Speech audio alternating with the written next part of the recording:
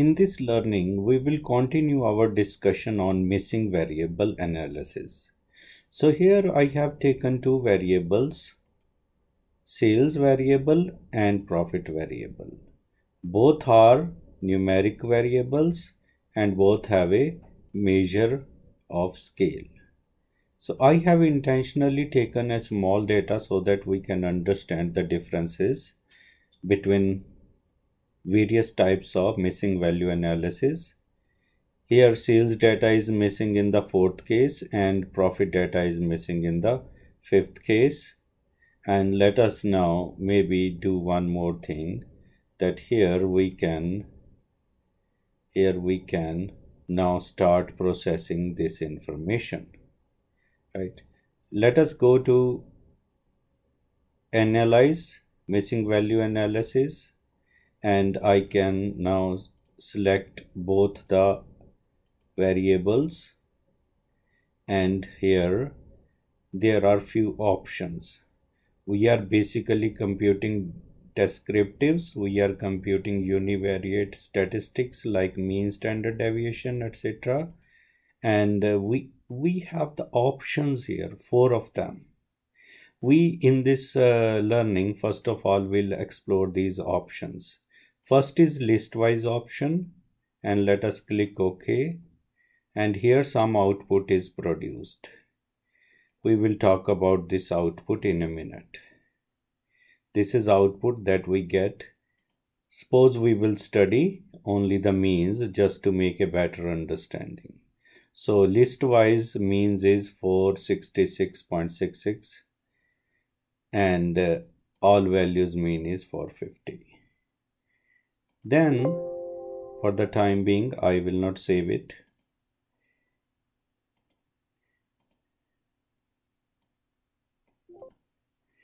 Then we go to analyze again and here again we use the missing value analysis. And from the previous uh, selection SPSS has remembered our variables which is fine. And this time we will use pairwise estimation and this time we got these numbers pairwise. Now let us uh, talk about what is happening behind the scenes. So we can compare the means output in both cases when we do the listwise analysis which is shown shown on the left here and pairwise analysis which is shown on the right here now let us understand how we got these numbers. For example we have a mean of all values which is 450 and uh, listwise it is 466.66 so how we got it? Actually our numbers in sales variable are 200 300 400 and 900 so if we go here 200 300 400 and 900 so these four scores were available or values were available but one value was missing. So if we total all these, then this comes out to be uh, 1800 divided by 4 which gives us 450 so this is the value that we get here 450 this is mean of all the numbers. But how come we got 466.67 which is here also and which is here also? Which is here also. So this is listwise. And listwise is if we go back to these values now we have 200 and there is 40 also 360 also. For 400 variable second value is not available. For this variable for which profit is 120 sales is not available. So these two will be missed. These two will be skipped when we are doing listwise calculations so we will take 200 300 and 900 so we go to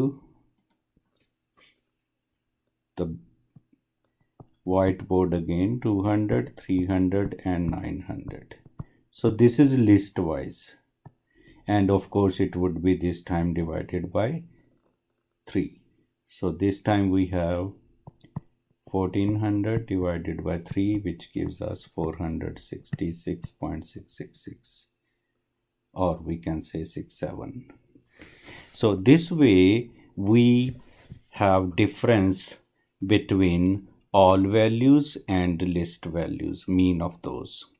And when we take option pairwise rather than list wise then pairwise the matrix is represented little differently. So it is represented with pairwise combination of the variables. Right here there is no pairwise combination. So table is made little differently.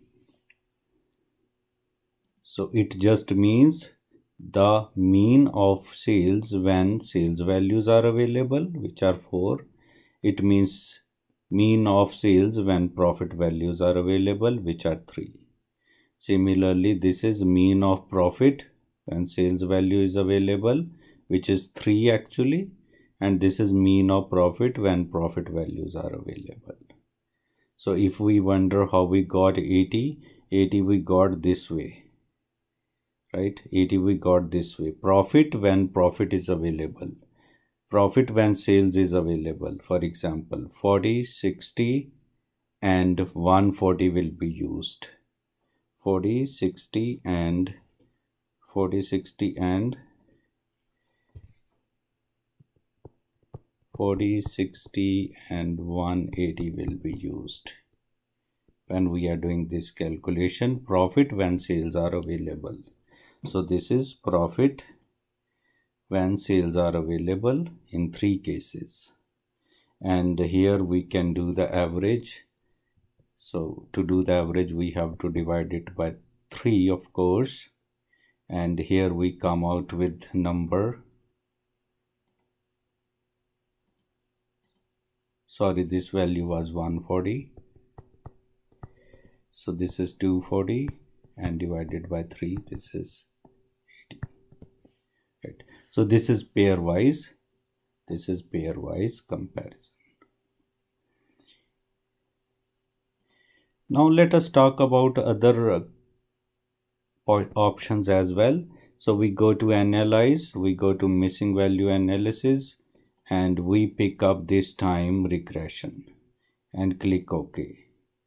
So in this case what SPSS is doing it is trying it has calculated the missing values by using the regression analysis. So it has calculated the missing values as for 400 for sales and 84 pro for profit by using regression analysis and then these values are substituted and then the the the uh, means are calculated. So this is regression mean 40 appearing here 400 appearing here and profit is 84 which appears here. So this is the mean based on regression analysis right? So this is mean of all the values. So this way we we can understand that this option does what? It calculates the mean by using the regression analysis. And regression analysis computes the missing value and then computes the mean of the sales and profit figures. When we have one more option i can close this one here.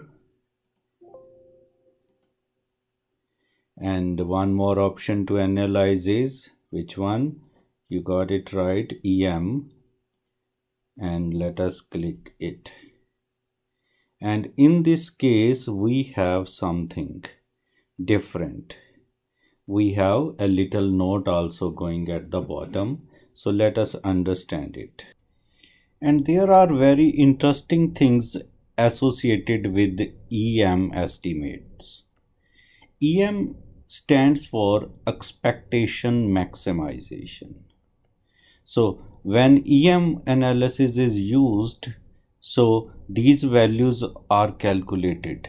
The mean value of sales is 510.3699 and mean value of profit is 86.15 something. Now, when a EM analysis is run, then this EM analysis first of all makes assumption about the uh, shape of the distribution. And in this analysis EM has assumed that the data given is actually a normal distribution. So it makes assumption that the given distribution is a normal distribution. Then second interesting thing which EM analysis does for us is that it computes something known as Little's MCAR R test. So it is given by some statistician known as Little.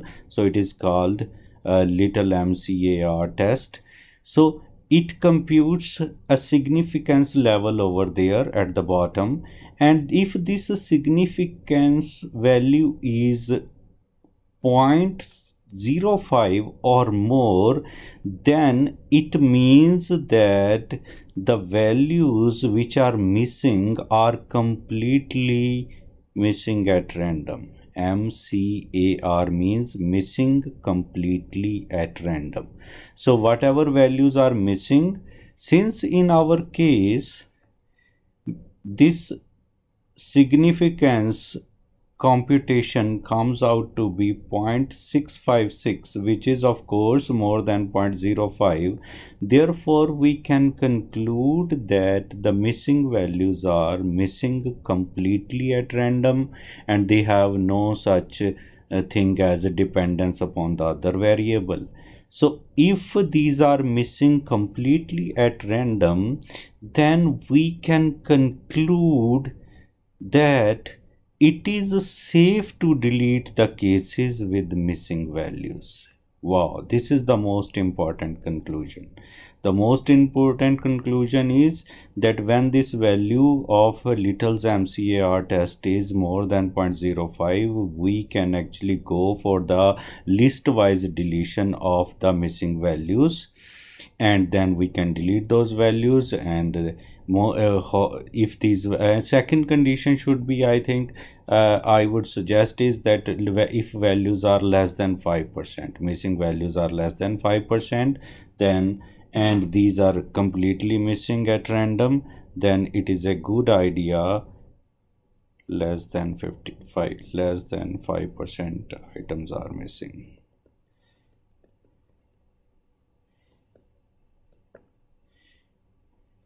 so if less than 5% items are missing and MCAR test uh, gives us a value more than 0.05 then we can go for list-wise deletion of the data. And uh, after deleting the data we can carry out the full-fledged the detailed statistical analysis. However if values are more than 5% say be maybe 17% values are missing uh, or uh, this uh, test gives us a value less than 0.05 then it is not safe to delete the missing values. Okay? Then it is a good idea to go with these numbers which are produced here so in that case, we will use those descriptive statistics which are produced here. So that is what this whole thing means. Now, the one question that arises is how we will delete missing values. This is something we will learn in the next tutorial. Thank you.